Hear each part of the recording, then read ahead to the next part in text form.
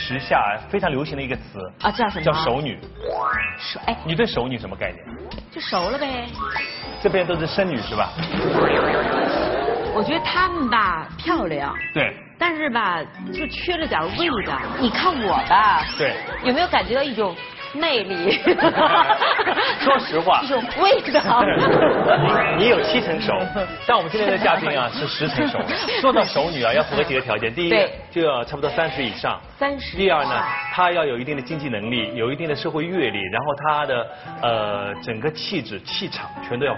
散发出来了，而且一定要多谈几次恋爱。但是对于他来说，我觉得他没有时间谈恋爱，是因为最近同时有三部电影上档。哎，我要给大家看一下他最近演部电影，你看我们现在多牛啊，都已经用了这个乐派了啊。财神客栈这部电影里面有我特别喜欢的霆锋，有我很喜欢的家辉，还有我特别喜欢的阿 sa，还有我最最喜欢的大伟，嗨，还有最喜欢的黄奕。你看，在那个财神客栈里面的一个剧照，好，好吧，我们要请出财神客栈的女主角黄奕。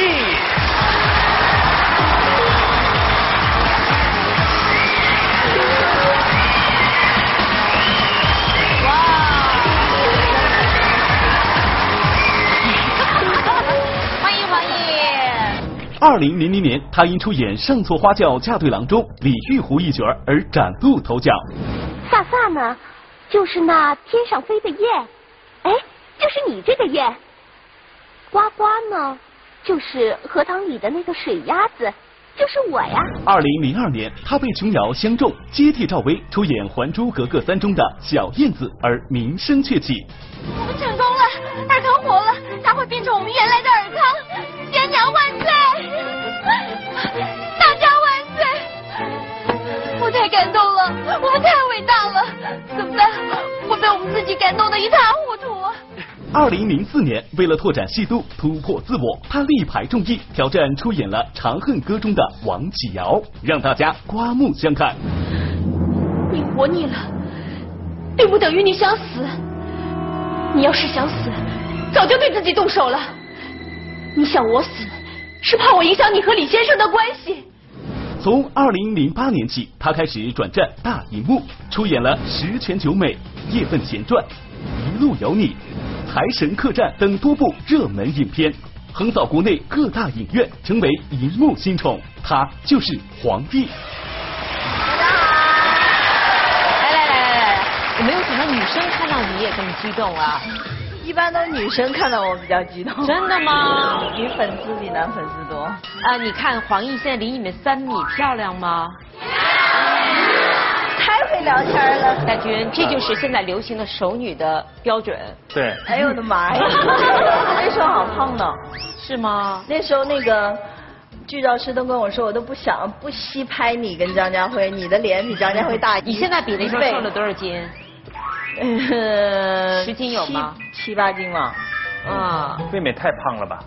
对呀，你还放大了看，太缺德了，太缺德了，全屏的。丑女还有一个标准，在爱情中要主动。哎，哎，这男的长得怎么这样？家辉，张家辉，他戴了龅牙之后，每天去化妆间我都不认识他。真的是认不出来。实在是太丑了。但是我们要恭喜一下《财神客栈》这个票房特别的好，你有听到这个好消息吗？我有在微博上看，第一天就过了千万了。黄奕最近有三部戏要来上，一个是《窃听风云二》，还有一个是第三部是秋瑾。秋瑾，所以呢，我们先恭喜一下，好吧？来来来来，掌声！哎，咱们今天的会员果汁超级访问，谢谢。时隔六年，黄奕再次做客超级访问。经历过情感和事业的起起落落，他又将道出怎样的背后故事？黄奕现场大爆料，合作搭档生活秘闻大公开。谢霆锋是个什么样的人？没心没肺，你知道吗？因为就是控制不住。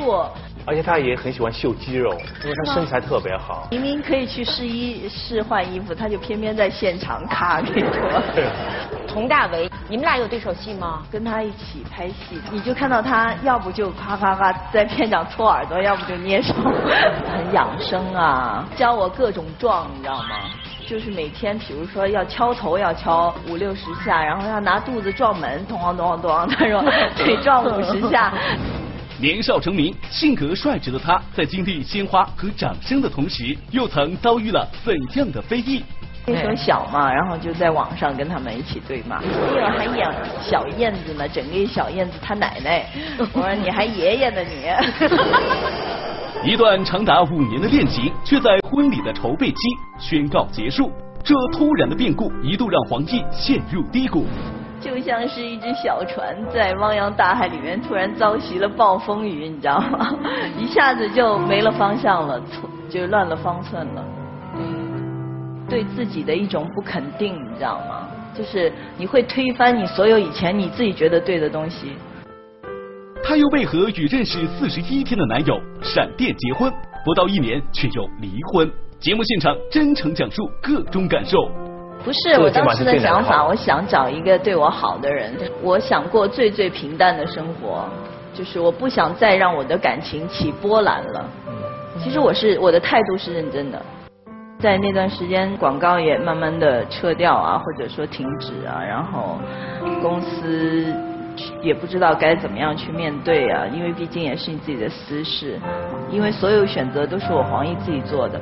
我今天如果不出来去面对我这一段不好的东西，那我永远不会成长。从曾经的不敢面对，到如今的释然反思，风雨之后的黄奕又将以什么样的态度来面对生活？聆听黄奕最真实的声音，尽在本期超级访问。今天的观众很热情，所以戴军，怎么着？我们一定要弄出点干货来。对对对。对，要不然对不起观众。说是那个首第一周的票房是五千五百万，已经突破了。海参客栈。对，非常成绩非常骄人，但是这个戏应该挣不到什么钱吧？因为你看这个演员阵容，这制片方应该收不到什么钱。你看，王晶很贵，谢霆锋很贵，张家辉很贵，阿 sa 很贵，佟大为很贵，黄奕更贵。哎，那票房卖的好不好，跟你们演员有关系吗？也没关系啊。他们跟好莱坞不一样，不是分层制的。哦，这样的。那卖的不好跟你们有关系吗？不好有啊，就下一回没饭碗了呗。张家辉是个什么样的男人？你们之前有合作过吗？没有啊，每个演员都有自己的气场嘛。有时候演员刚接触的时候，你会有点距离感，不会一下子跟他很熟。但跟张家辉就没有。大概他带那个龅牙的关系吧。第一天拍戏，大热天，非常非常热，我就非常累，我就撑在他那个肩膀上，我就这么休息了。然后他说，呃，那个呃，黄奕，咱俩很熟吗？咱俩也没介绍过，你挺自然的哈。好了，哦哦哦，对不起。都没介介绍过，就把手搁上去。休息了，而且大家会肯定心里想，我长得到底像沙发还是像床啊？看到我就搁上。长得像沙发，但是我我倒觉得他没有一点架子，我觉得我跟他在一起特别特别自在。我在胡斌给大家讲，给大家在胡斌那期节目里已经讲过了，嗯，说那个我们那个因为在户外拍戏嘛，没地方休息，没地方坐，大家都累得贼死。后来看到有一个大石头后面有一堆稻草，我们说哎去那边去那边，刚跑过去就有人拦着我们说小心别踩到黄奕。我说黄奕在哪里啊？就看黄奕裹着军大衣在草草垛里面睡觉。你得哪儿睡哪儿？就是小时候那种没心没肺，你知道吗？因为就是控制不住，没睡醒觉你就难受，不管哪儿都能睡。谢霆锋是一个什么样的人？我们在超级访问对他的印象就是他是很 nice、很很绅士，然后很有礼貌，然后也很关照别人感觉的一个人。其实就是他外表就是感觉比较。冷漠一点嘛，然后我们我们一起拍戏，他就是他其实很愿意去把他会的东西去教给我们，因为他就是武术特别好嘛。然后他特别想做老师，就把我、家辉啊、阿 sa 还有郑希怡啊、关之斌啊一排都叫上，然后就开始跟他打那个咏春拳。他说：“哎，不对，再来一遍。” 然后接着打。因为他上次来是我们节目，就只要讲到功夫，他都特别有兴趣。啊，对对对。他可以随便空翻，而且他也很喜欢秀肌肉，因为他身材特别好。对对对对对。哎，那一般都穿着衣服，你们怎么秀呢？不是说有一个大肚腩，故意崩开，把扣啪蒙开。没有，他在片场跟人说，哎呀，真热哎，把衣服脱了就坐那里，啪啪啪拿扇子，肌肉特漂亮。你为什么不秀呢？没有。对，还有有的男演员明明可以去试衣试换衣服，他就偏偏在现场咔给脱。对，就不是试衣间。我明白。招摇那种。佟大为这次他演的也是个比较搞笑的，你们俩有对手戏吗？有，跟他一起拍戏，他就是很很养生啊，每天给我吃那个五谷粥。我说你不吃别的，他说我就吃这个，然后然后还教我各种壮，你知道吗？壮。我说哎呀，你怎么瘦了？你这现在状态怎么那么好？他说我就就是每天，比如说要敲头要敲五六十下，然后要拿肚子撞门，咚咚咚。他说得撞五十下。他说一个早上大概所有的都撞一圈回来，从头到脚大概需要一个多小时。还有还有叫什么？就这么捏手，然后你就看到他要不就咔咔咔在片场搓耳朵，要不就捏手。你在这个剧组待着会恍惚吗？一个男演员在教你们打咏春，一个男演员教你们在撞肚子。他们这财神客栈最后变养生客栈了。反正这个剧组有点奇怪，但票房很好。但下一个剧组很开心，非常非常开心的一个剧组。但我想看看这个剧组。来，我们看看是哪部戏呢？来，看。哇，窃听风云。对。吴彦祖、古天乐、刘青云。哎，你看这导演编剧啊，庄文强、麦兆辉，那个监制是尔冬升，这个剧组很厉害。黄奕，为什么你总有这么好的机会，跟这些香港著名的导演和大帅哥合作呢？这三个男的，一下原因呢？有得有失嘛，其实人生就是这样，你知道吗？有得有失。这三个你最喜欢哪一个？古天乐、吴彦祖和刘青云。我肯定是喜欢刘青云啊，他是我老公啊，在戏里。刚才我说你为什么老跟帅哥合作？黄奕说有得有失，大家明白吗？就生活中呢，基本找不到帅哥，所以在戏里老跟帅哥合作。是不是这么回事？是，生活当中找帅哥这种危危机感太强了，你知道吗？那你跟这些帅哥拍戏的时候，就真能够一点都不动心吗？没有啊，这是很微妙的。就比如说，我跟刘青云一块儿，我演他老婆，那在戏里边我就会真的就跟他关系比较比较好一些，然后大家这种。对互相的这种关心也比别人，就是别的演员，包括古天乐啊、吴彦祖啊，就会多一些。这但是你看我一路有你又跟古天乐演的时候，那我跟古天乐的关系又好一些，就是在那个戏当中，戏给你制造的那个感觉。但是你毕竟演员，你得拍完戏你得抽离出来，否则你你你成什么了？来一个就就动一次心，不累死了。跟你讲啊，就是说各行各业想娶女演员的人一定要记得这一点儿，你不要觉得漂亮，然后他们的生活有意思。他可是他一天早晨六点走了，他演到晚上十点，一直是在啊那种，然后他回家，就是有时候别人跟我在一起，他们会说，就是会觉得我的性格比较古怪，因为有时候我可以非常非常高兴。有时候我的心情就可以不说话，然后挺沮丧的。但是你他说你真的为什么要这样的情绪那么反差的那么大？其实你自己也不知道，有可能你自己要管理的情绪太多了。时隔六年，黄奕再次做客超级访问，经历过情感和事业的起起落落，他又将道出怎样的背后故事？年少成名、性格率直的他，在经历鲜花和掌声的同时，又曾遭遇了怎样的非议？那时候小嘛，然后就在网上跟他们一起对骂。那会儿还演小燕子呢，整个小燕子她奶奶。我说你还爷爷呢你。做访问也好，他们就觉得我我就是应该如此之简单，你知道吗？然后动不动就说，哎，黄奕飞一个，跳一个，蹦起来啊！然后哎，笑大点，嘴咧开啊，耍起来。一段长达五年的恋情，却在婚礼的筹备期宣告结束。这突然的变故，一度让黄奕陷入低谷。就像是一只小船在汪洋大海里面突然遭袭了暴风雨，你知道吗？一下子就没了方向了，就乱了方寸了。对自己的一种不肯定，你知道吗？就是你会推翻你所有以前你自己觉得对的东西。风雨之后的黄奕又将以什么样的态度来面对生活？聆听黄奕最真实的声音，尽在本期超级访问。现在很多媒体都给黄奕拍照片呀，或者采访都提到熟女这个概念。我们看一个，就是整个从青涩到熟女的这样一个过程。对，哎，左边是什么时候的呀？黄奕出道了几年？出道几？右边呢？大概三四年前吧。嗯，还有吗？天哪，这对比太明显了。好肥的。他看的跟我们不一样。哇哦。那时候你看那发型，发型都很像。没有关键，其实我觉得眼眼神也不一样。眼神，左边憨憨的。为什么那时候像张曼玉刚出道的时候呢？而且那时候好像每个天天吃包子撑的嘛，是不是？哎，我想问一下现场的男士啊，我们拿话筒递一下，你们喜欢那个玉女时候的样子，还是这样熟女时候的样子？都喜欢。比较喜欢后边第二张的效果，就右边的是吧？右边熟女的感觉。你喜欢熟的呀？为什么呀？因为他还小嘛。有女人味儿，他有女人味，非常的有有韵味儿的一种，是吧？哦，我们再问一位男生，来第一排穿粉色背心的男生，一看就是少男。小胖今年多大？小胖，今年多大？十八，十八，九零后。谈过恋爱吗？没有。那你喜欢黄奕的玉女区还是成呃熟女区？玉女。那那个姐姐问你熟女为啥不好呢？我还没成熟呢。当什么？我还没成熟呢。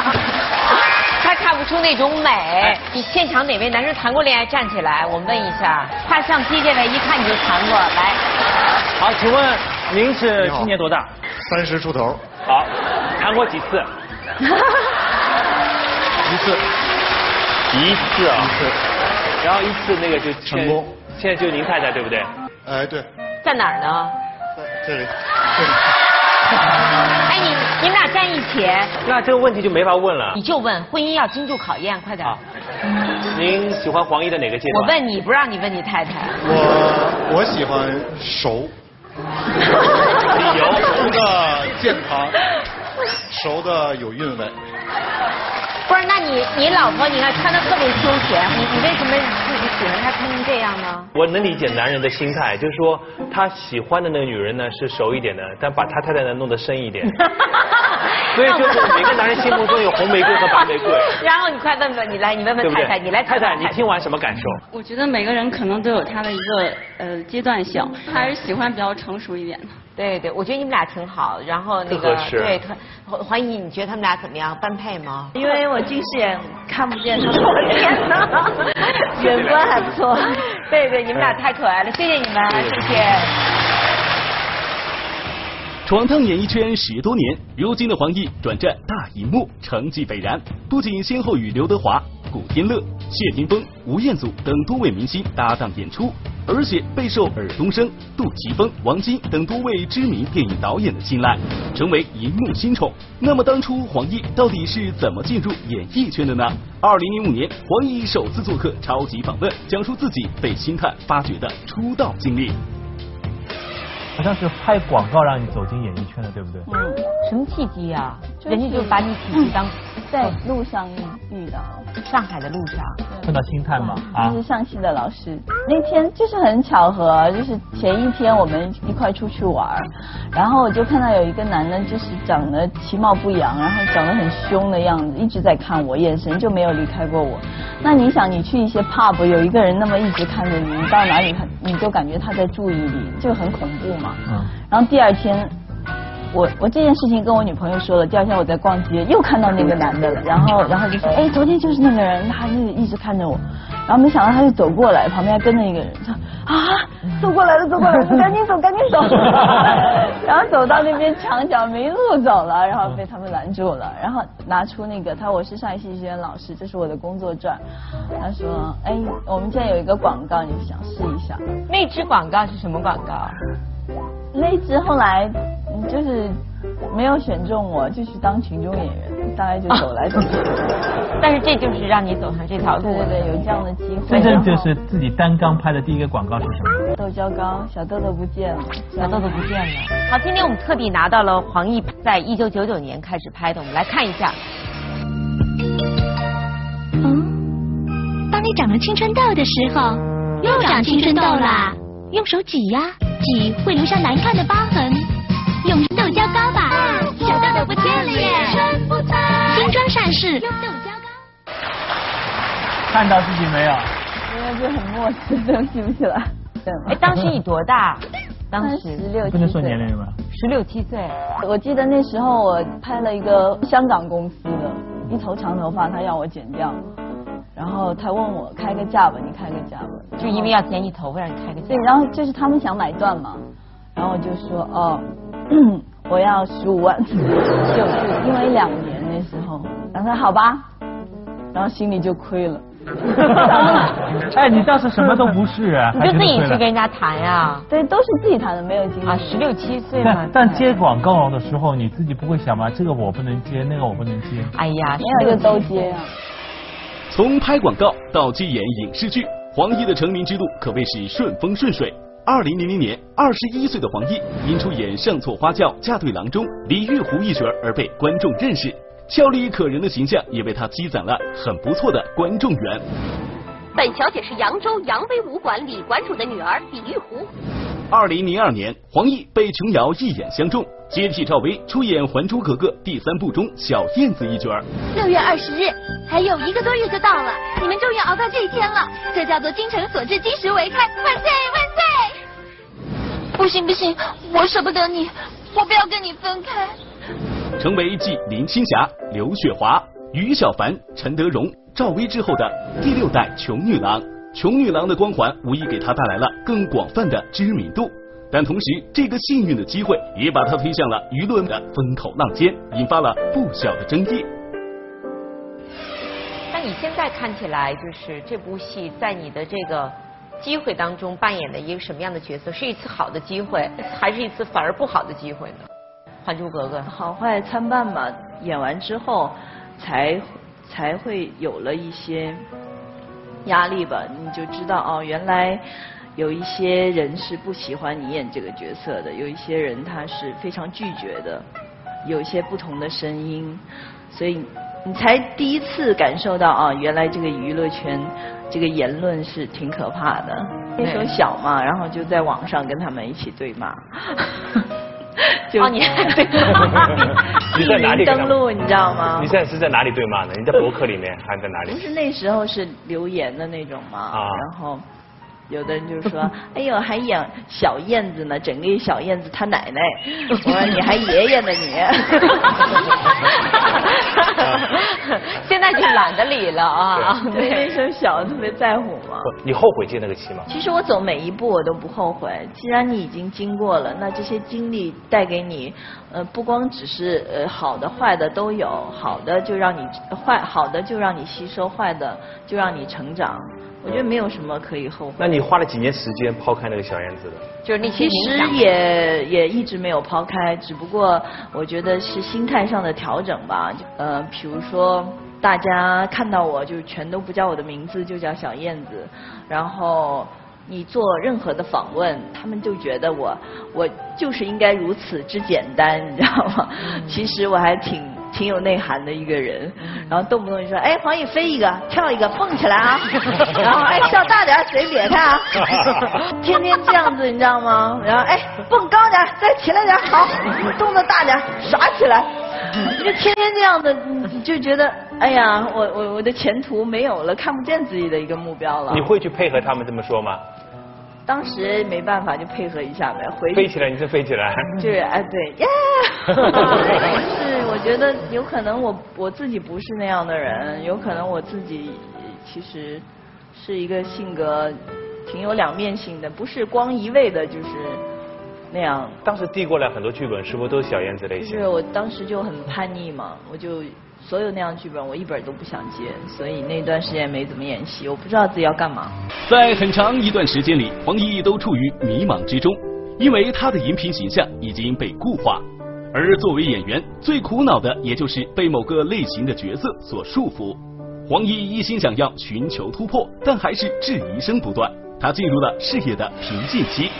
二零零四年，他力排众议，挑战出演电视剧《长恨歌》中极具有传奇色彩的上海女人王启瑶，演活了一个看似从容而内心充满争斗的复杂女人，也开始让观众看到了黄奕的另一面。其后的二零零七年，他与黄磊、陆毅共同出演由巴金名著改编的同名电视剧《家》，更是一改往日飞檐走壁的活泼形象。演绎了一个温婉贤淑的悲情少妇瑞珏，得到观众的认可。黄奕终于通过自己的努力摆脱了束缚。既然来了，就等你一块儿回去吧。你放心，我不会打扰你的，你就当我不存在好了。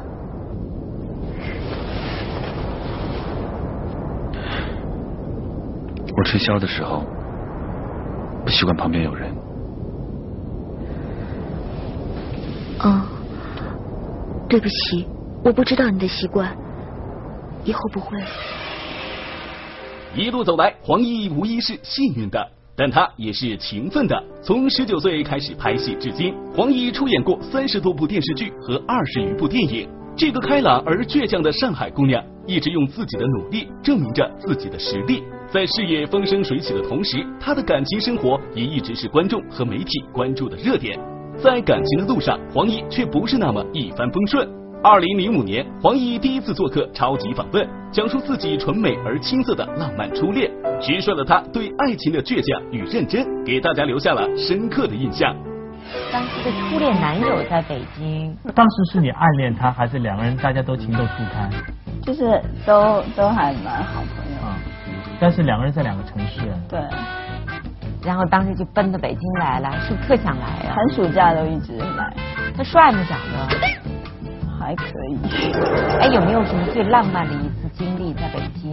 我记得那时候因为初中升高中，我要回去了，我没有北京户口，一定要回上海去考试。然后那时候他每天都送我回家，然后我们都会比如说在那边有我们一个花园里边有秋千。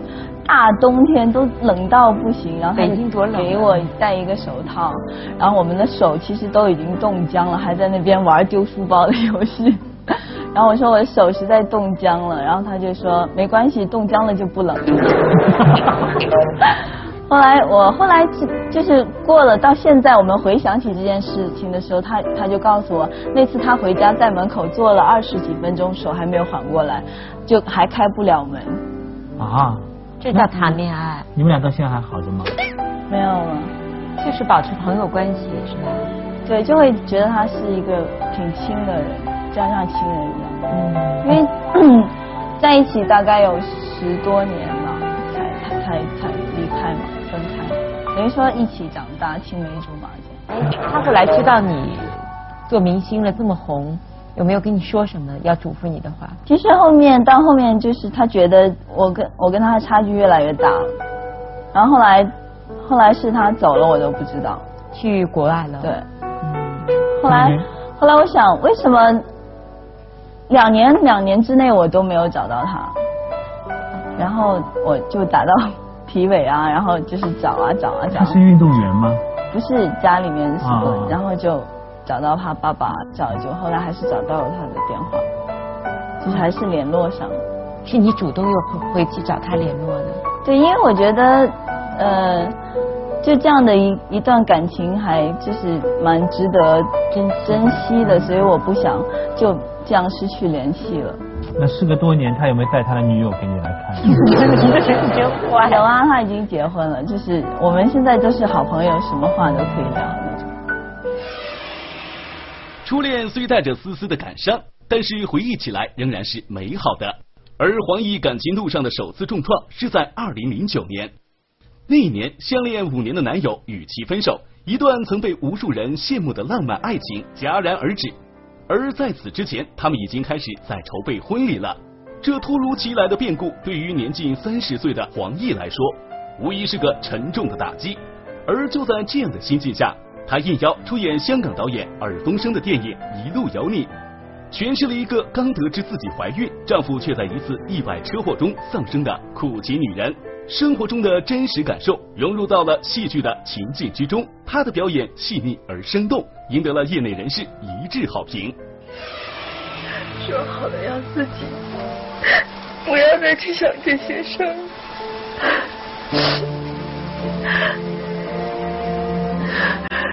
只要做妈妈了，我应该坚强一点。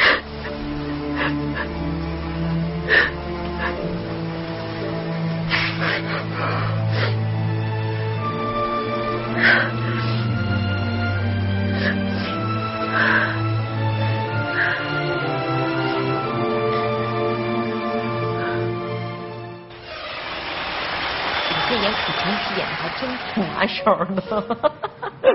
有经历的就是不一样。我觉得一个女人真正的蜕变就是经历情感，不管是顺利的还是不顺利的。我知道你拍《一路有你》的时候，拍了很多哭戏嘛，然后他那次也跟我说，是一边拍哭戏，其实本身也是很想哭的一种状态。就是那段是二零零九年，他当时其实我知道你有一个很多年青梅竹马的男朋友分手。时隔六年，黄奕再次做客超级访问，经历过情感和事业的起起落落，他又将道出怎样的背后故事？一段长达五年的恋情，却在婚礼的筹备期宣告结束。这突然的变故一度让黄奕陷入低谷，就像是一只小船在汪洋大海里面突然遭袭了暴风雨，你知道吗？一下子就没了方向了，就乱了方寸了。对自己的一种不肯定，你知道吗？就是你会推翻你所有以前你自己觉得对的东西。他又为何与认识四十一天的男友闪电结婚，不到一年却又离婚？节目现场真诚讲述各种感受。不是我当时的想法，我想找一个对我好的人。我想过最最平淡的生活，就是我不想再让我的感情起波澜了。其实我是我的态度是认真的。两个人的事情是与非对与错，那些乱七八糟细节，你是你是讲不清楚的。我今天如果不出来去面对我这一段不好的东西，那我永远不会成长。从曾经的不敢面对，到如今的释然反思，风雨之后的黄奕又将以什么样的态度来面对生活？聆听黄奕最真实的声音，尽在本期超级访问。我知道你他《一路有你》的时候，他当时其实我知道你有一个很多年青梅竹马的男朋友分手。我觉得我这个人是。比比同龄人要晚熟一些的，有可能是我从小在爷爷奶奶身边长大，他们对我的宠爱有加，然后你出来拍戏，你也没有经历什么摸摸饭滚打，然后你也就一路一不小心就做了明星，然后还拍了很多戏，所以就是所有的事情都。感觉是非常顺的，而且也是在你最年轻的时候就获得了这些荣誉。突然发生一个生活当中的一件挫折的时候，就像是一只小船在汪洋大海里面突然遭袭了暴风雨，你知道吗？一下子就没了方向了，就乱了方寸了。有时候我觉得一一件事情的失败，它带给你的不仅是两个人的感情的受伤，有可能会。对自己的一种不肯定，你知道吗？就是你会推翻你所有以前你自己觉得对的东西，你不知道自己什么是对，什么是错，就是你会怀疑自己的本身的一个判断标准。呃，当时结束那段感情，你在最彷徨的时候就闪婚闪离。我当时的想法，我想找一个对我好的人，然后我不想，呃，我想过最最平淡的生活，就是我不想再让我的感情起波澜了。其实我是我的态度是认真的，就如同黄奕所说，这段无果而终的恋情就像一场暴风雨，他深陷其中无法自拔。而就在这个时候，在一场慈善晚宴上，黄奕和前夫江凯相识了。江凯的阳光与细心打动了黄奕，让处于感情低谷之中的黄奕倍感温暖。于是二人在相识四十一天后便步入了婚姻的殿堂。然而这段婚姻维持不到一年。网上便爆出二人离婚的消息，而此时的黄奕对此三缄其口，不予回应，甚至在录制李静的某档访谈节目被问到此事时，当场落泪。当就是危机发生的时候，我连面对的勇气都没有，我所有的时候都是选择蹲下的，然后我都，你要上镜姐节目一上来就就哭了。当时报纸上每天都在说。因为大家没有人知道他迅速结婚、迅速离婚，然后说这人是怎么回事儿？这女孩太不靠谱了，很多人都会是，你明白吗？真的不知道，这这真的不知道怎么样去面对了，因为我我现在都觉得两个人的事情，就是他又是一个圈外人，我没有必要把所有的事情都抛出来说，因为是与非、对与错，那些乱七八糟细节，你是你是讲不清楚的。因为所有选择都是我黄奕自己做的，那就怪我冲动吧，怪我率太率真吧。然后，怪我情绪管理还不够吧。其实，在那段时间，广告也慢慢的撤掉啊，或者说停止啊，然后公司也不知道该怎么样去面对啊，因为毕竟也是你自己的私事。所以当时我觉得所有的报道，包括我的电影，都根本就不提你正事儿，就是你所有的报道都是跟你的私人感情有关的。所以在那个时候，嗯，我就觉得。不管怎么说，别人认识我都是因为我是黄奕，都是因为我这么一年一年拍了戏，然后大家认识我。但有可能在这样一一遭的时候，真的有可能会失去自己的事业。当时，嗯，当时那段心情是特别特别的不好，特别糟糕的。然后我就觉得我该怎么办呢？然后我就看书，然后看了很多哲学的书啊等等的。我觉得我最最大的其实改变就是要改变我自己。我今天如果不出来去面对我这一段不好的东西，那我永远不会成长。我现在不管多大的风雨来了，我都要站着去顶着，就是这种心态。其实我认为，任何离婚当中的男女，其实他们都是站在自己的立场上，有对有错，都挺不爽的或者不开心，就这么被媒体去夹击。我那天财政客栈发布会，然后。谢霆锋他在台上讲，因为他我们发布会结束之后，然后谢霆锋说我要上台讲两句话，做一个简短的发言，然后他就说说了他跟柏芝的那一段，现在目前的状况等等。当时坐在台下，我就我就特别的感同身受，因为一年前的财神客栈的发布会是我站在台上，然后所有的记者噼里啪啦的来问我，你知道，我当时就。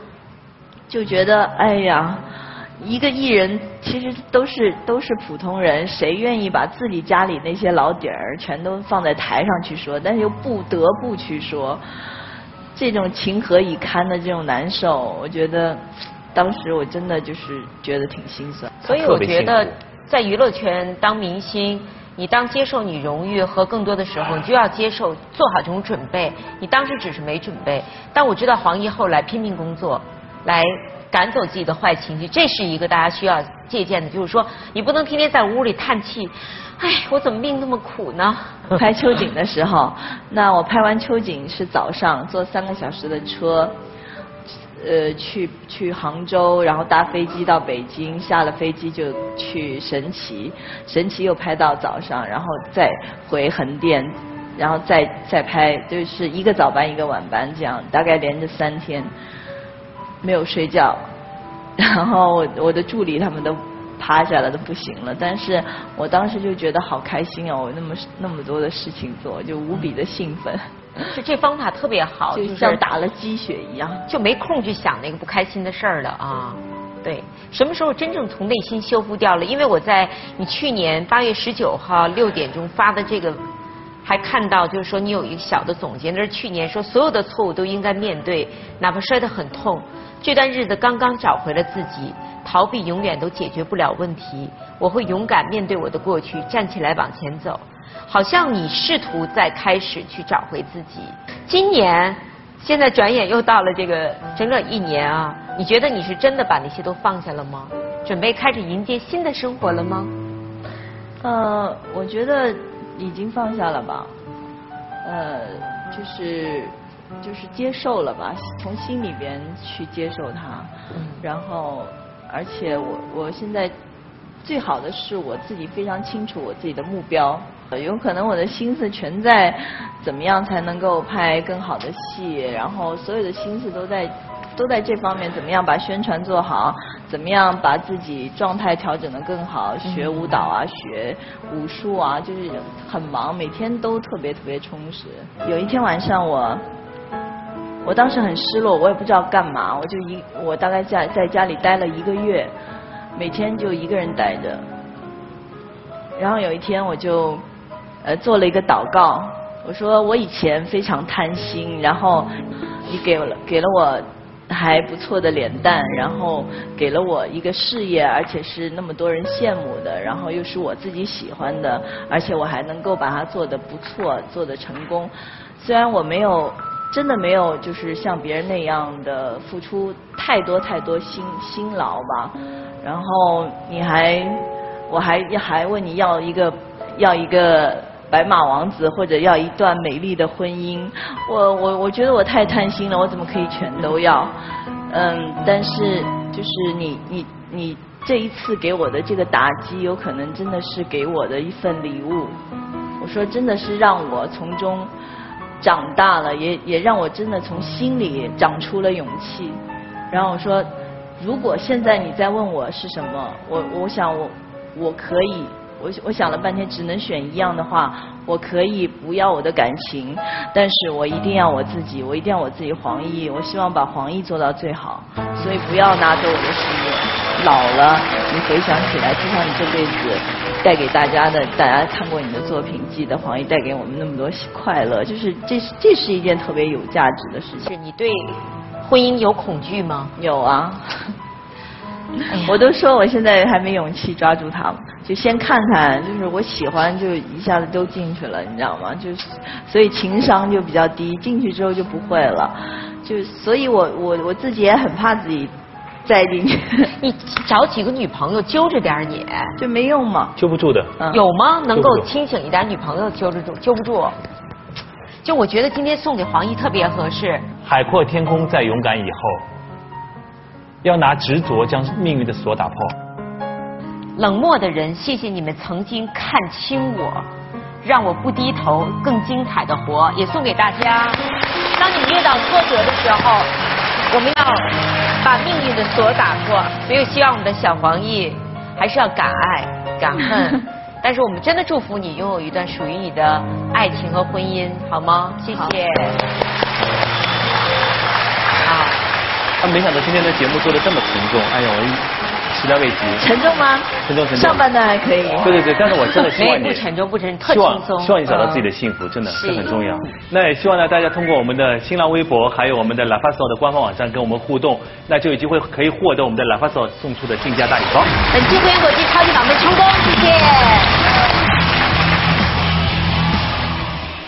震做客本期超级访问，从酒店服务生到荧屏硬汉，于震当演员前到底有着哪些趣事？我感觉他比较适合车间工人，大爷他像洋酒推销员。我们这么高个的孩子，一般在宴会厅里面做比较合适，而且宴会厅需要每天都要，基本上每天都需要摆桌子呀、摆椅子，所以体力活比较多。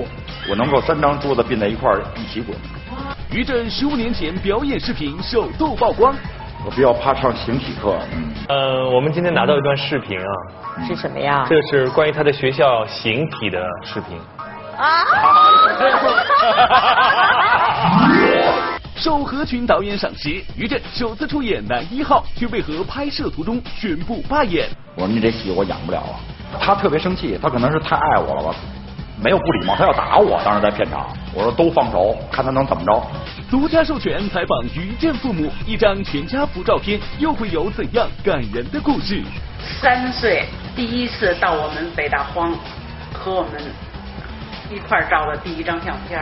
关注本期超级访问，一起解读北京爷们儿。